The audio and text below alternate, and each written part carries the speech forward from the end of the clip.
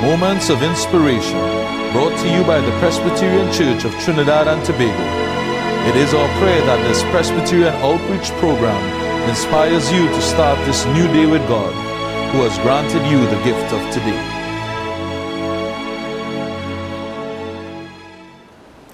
Good morning, friends, and welcome to Moments of Inspiration. I am Reverend Shirvan Siloch of the Oropouche Pastoral Region with the Presbyterian Church of Trinidad and Tobago. I feel blessed to be leading you in today's devotion. I thank you for allowing us into your homes this morning and for the opportunity to spend the next 30 minutes in prayer, praise, and worship, and reading and proclamation of uh, God's Word. In Scripture, uh, God has always shown a preferential bias for the poor, those in need, those who have been marginalized in society, such as the widow and the orphan. We as Christians are called to stand in solidarity with them. This Saturday, the 19th November, the world will be commemorating Universal Children's Day. Therefore, for today's episode, we will be focusing on the theme, Standing in Solidarity with Children. I invite you to bow with me in prayer. Let us pray. Beloved Father in heaven, Father of us, all, as we begin this new week, we give you due honor and glory and praise for your hand at work among us. Spend the next few moments with us as you spent time with Adam and Eve in their home in the garden. Speak to us in these moments as you did with the prophets.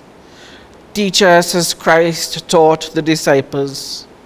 Inspire us and direct us as your Holy Spirit did with the early church at the Pentecost experience. May we, at the end of these moments, be able to confirm our relationship with you in a stronger and more convicted passion uh, that really gives you the honor you deserve. Through Christ we pray. Amen.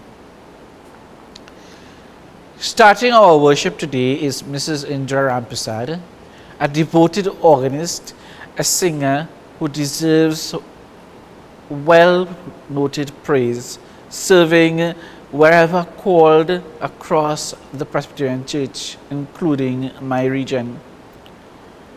She leads us now with the devotional hymn, Be Still and Know That I Am God.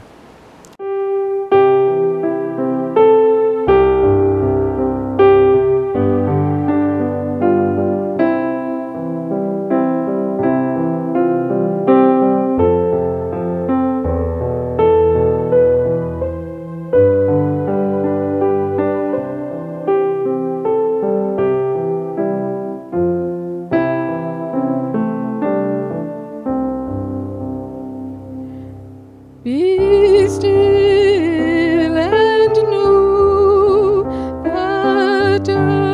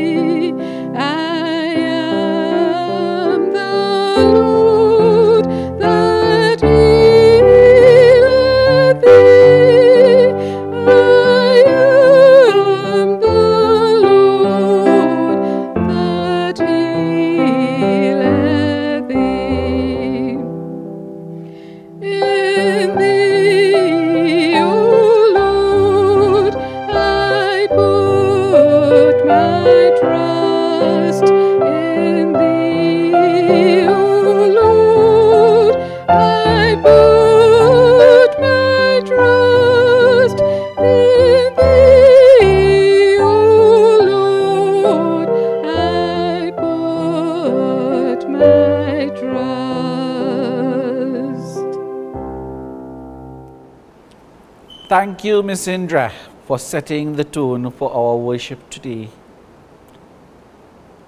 We focus now on the Word of God, which comes to us today from the Gospel of St. Matthew, chapter 18, verses 2 to 6. He called a child whom he put among them and said, Truly I tell you, unless you change and become like little children, you will never enter the kingdom of heaven. Whoever becomes humble like this child is the greatest in the kingdom of heaven.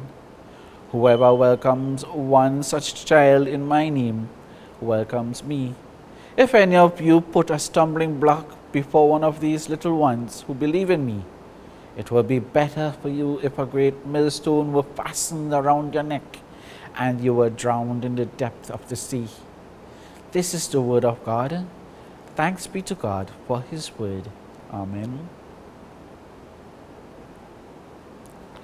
As mentioned before, we are commemorating this coming Saturday, Universal Children's Day. And so we dedicate this episode of Moments of Inspiration to our beloved, beautiful children of this nation of the Republic of Trinidad and Tobago. I invite you to reflect with me for the next few moments on the theme Solidarity with Children. We bow in prayer. Lord, as we focus our thoughts on children this week, inspire us now, we pray, such that our reflections lead us to actions that bring you honor and glory to your name. Through Christ we pray. Amen. The biblical commentator Matthew Henry would support the direction of our reflections this morning as we emphasize Jesus' direct use of that little child among the crowd with whom he was speaking that day. Henry suggests that there is something critical to note about that physical application. The Gospel writer sets the scene vividly for us. If we were to recreate it, the same imagery could be set in any one of our churches. If we were to put ourselves into that congregation from which Christ called out the child, we could well think what would have happened in our times.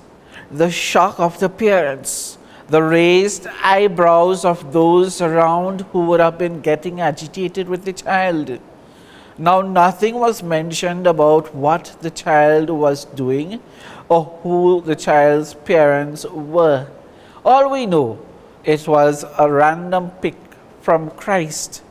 All we can conclude is that Christ labeled that child as humbled and he instructed, Truly I tell you, unless you change and become like children, you will never enter the kingdom of heaven. Whoever becomes humble like this child is the greatest kingdom in the kingdom of heaven. Whoever welcomes one such child in my name welcomes me. A few things well can be learned from the life cycle of the human being from birth to death. As morbid as the thought is, we must have at some time realized or should realize that when we enter this world, we enter helpless when our parents have to take care of us doing literally everything for us from feeding us to changing our diapers and putting us to bed. And when we leave this world, we live in almost the same state of helplessness when children have to take care of parents the same way parents took care of them. The humility Christ is speaking about with the use of this child sheds a different perspective on things. For instance, when babies enter our lives. Oh, how anxious are we for them to speak, walk, and play. And when they learn how quick are we to get them to be quiet and sit down easy for a while. How nervous are we when they fall and they bruise themselves? How confused we become when they cry and we can't figure out the reason they are crying. How anxious are we to see them in their school uniform and when they start school we can't wait for them to graduate. Remember the teaching process? How much pain they would have been through that when they finally got that full mouth of teeth, we realized how much uh, have they, they could have enjoyed with those teeth. The life lesson of the baby's teething process. Pain leads to happiness. In the adult world, hard work uh, brings success the humility Christ is calling for when he called out this child from uh, that congregation then is one that necessitates endurance. The kind of endurance God maintains for us even when we fall and bruise. The humility Christ is calling for, for when he called out this child is one that necessitates patience. How agitated that crowd would have become when he did that. How confused that child and his parents would have become when that happened. Matthew Henry goes further than that to suggest not only patience is needed, but also a complete removal of the ego of pride by the use of this child. Henry suggests that Jesus is teaching how much we belittle each other when we place ourselves on high pedestals of society. Jesus called the child as a symbol of the lowest of our hierarchical structure in the society. The child now developing and not even having statuses yet. One of the reasons that I am here this morning is because within the Presbyterian Church, I am the youngest daddy of our clergy. Yes, they chose me, who is now the happy first time daddy of a 14 month old baby boy. What this child did for me when he came into my life, I was changed that temper of mine drastically from being loud and rowdy, reacting with any kind of vengeance, to a most serene temper that keeps reminding me that this is a baby with whom I am dealing with. The shift of temper had now begun to filter into my own ministry, even in my marriage and among my relationships. The humility to which Christ is calling us is one that will humble us enough to give that listening voice to the voice crying out to be heard. Children too have much to teach us. Even our youths have much to teach us. Too often we try to teach children and youths what we learned from our parents and we fail to recognize that children and youths can teach us something new too. Instead of being overprotective and making their choices for them that they do not get hurt, teach them the values and virtues of life and when they need to make their own decisions, they are able to make the right decisions. It is time to stop silencing the voice of this young generation of children and youths. It is time to stand in solidarity with them.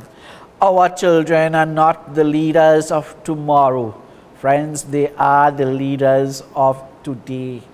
The grass withers, the flowers fades, and the word of God abides forever. Amen. Since we are celebrating children today, we have with us a very special young lady from the Trinity Presbyterian Church, Miss Ariane John. She is nine years old and goes to the Canaan Presbyterian Primary School. Ariane blesses us now with a short poem entitled God's promise by Mandy Willing. God's promise. God has not promised skies always blue, flower laden pathways all our lives through.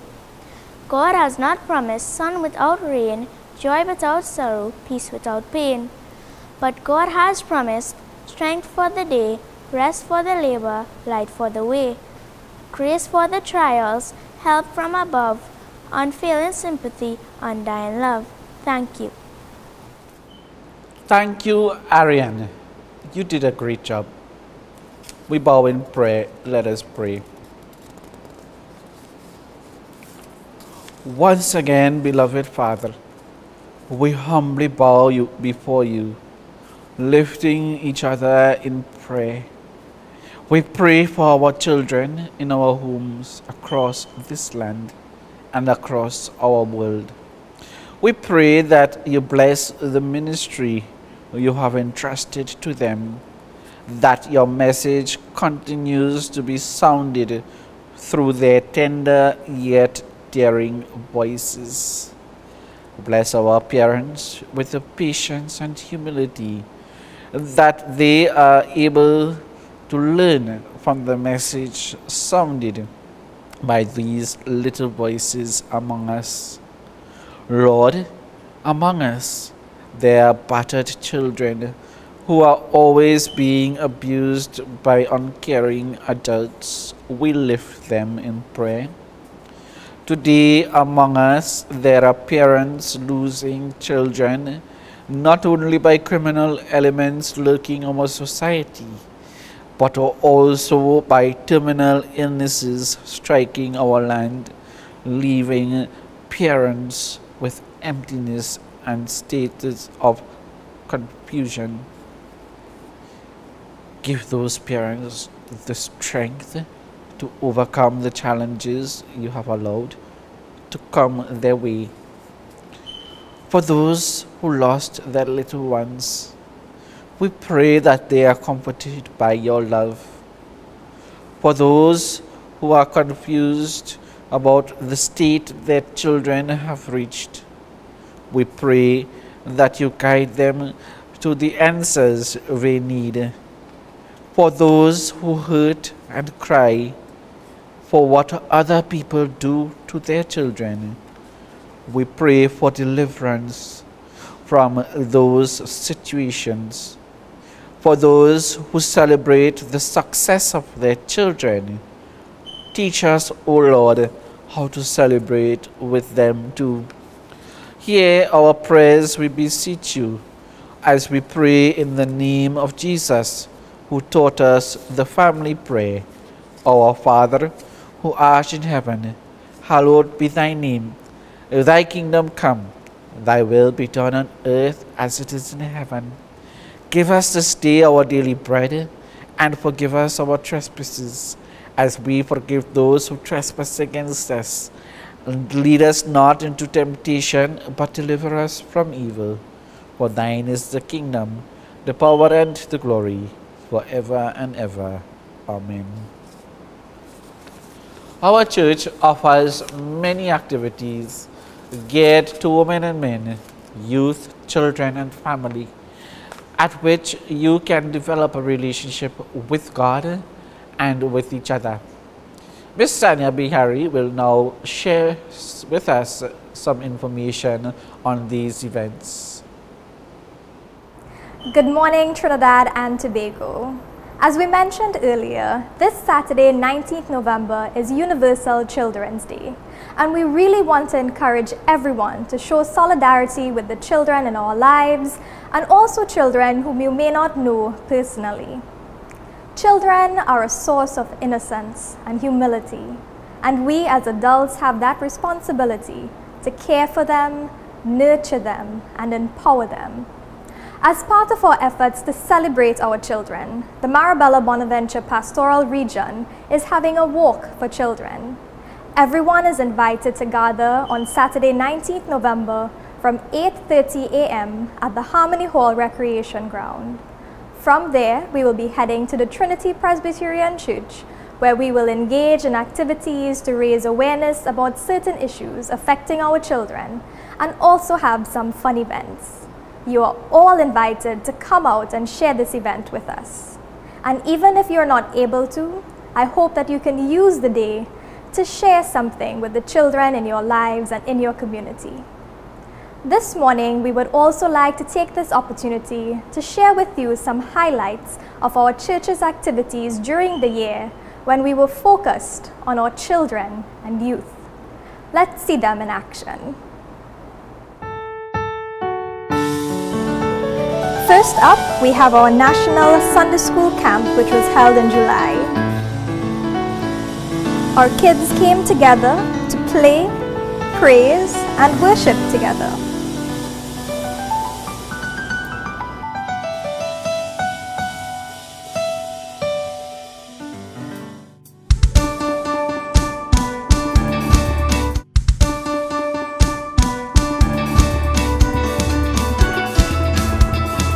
There was even some drama involved.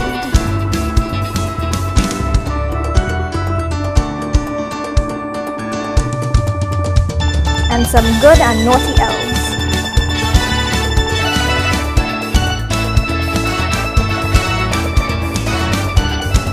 And we celebrated together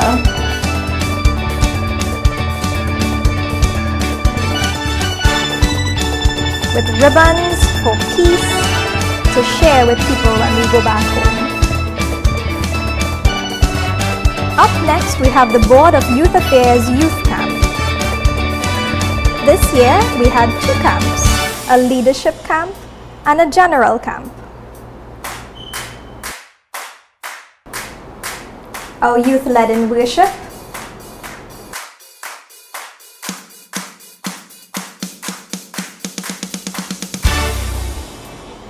and they spend time together in prayer.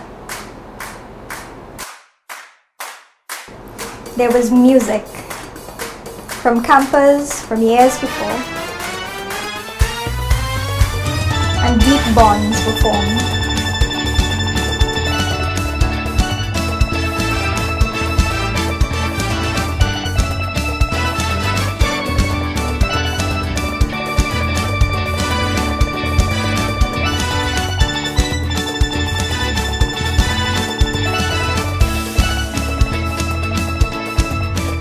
There was tie-dye t-shirts.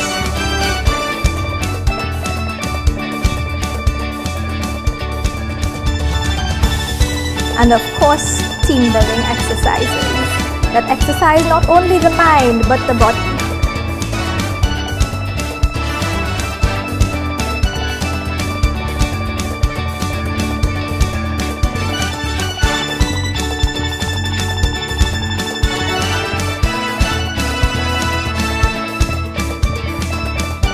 And our campers took a hike to Turure Steps in Valencia. Up next, we have the Sold Out for Christ that was held in Armalaya on September 11th. These services are geared for our young at heart and our young in body who come together to worship Christ with all of their beings, whether we are inside or outside.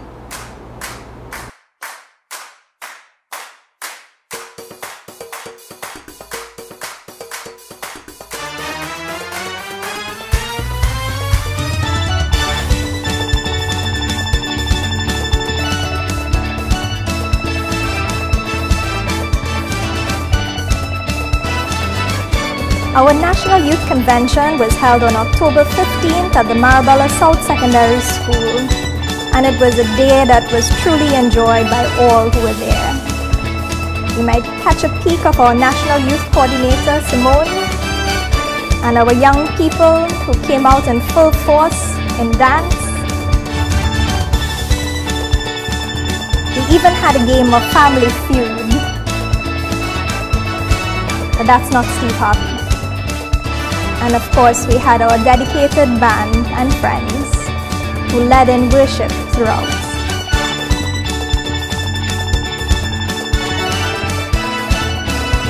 Just imagine, these are all of our young people from around the country who came together to worship Jesus Christ. We hope you were inspired today by seeing our children and youth who are active in the life of the church. Take care, everyone, and back to you, Rev. Thank you, Sanya.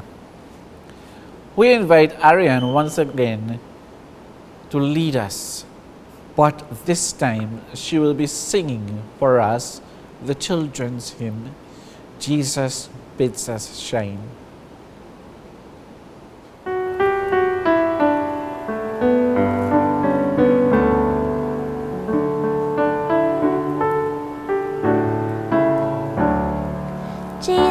Us shine with a pure clear light, like a little candle burning in the night. And this world is darkness, so let us shine. You in your small corner, and I in mine.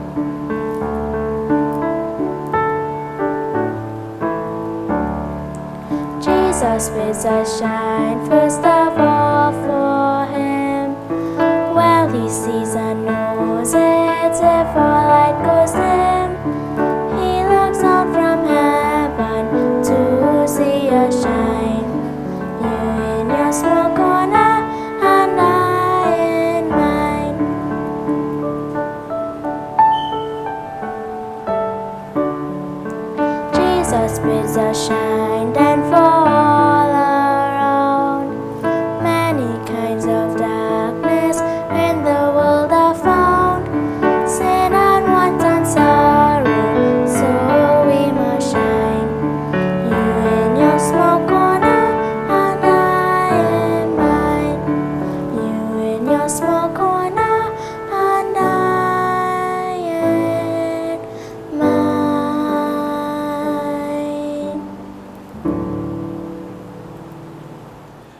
Thank you very much, Ariane, for being so brave this morning and sharing your talents with all of us. This brings us to a close of our program today. If you missed any of our previous episodes, you can find them on our YouTube channel, Presbyterian Church Trinidad and Tobago. For any further information, we may be contacted via our website www.pctt.org.tt.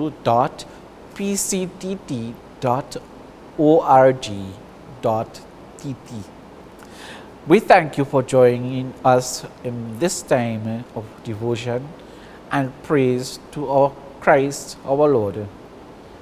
You are welcome to worship with us at any Presbyterian church close to your home. And if you're in my area, the Oropouche Pastoral Region, feel free to drop by any of the churches in my region. The Morning Star Presbyterian Church in Fyzabad at 6.30 a.m. The Eternal Light Presbyterian Church uh, at Spire Road at 8 a.m. The Son of Righteousness in Rousillac at 9.30 a.m. Thank you for choosing to start your day with us. My prayer is that you and your loved ones will have a blessed week ahead. I leave you with today's moment of inspiration. Train children in the right way, and when old, they will not stray.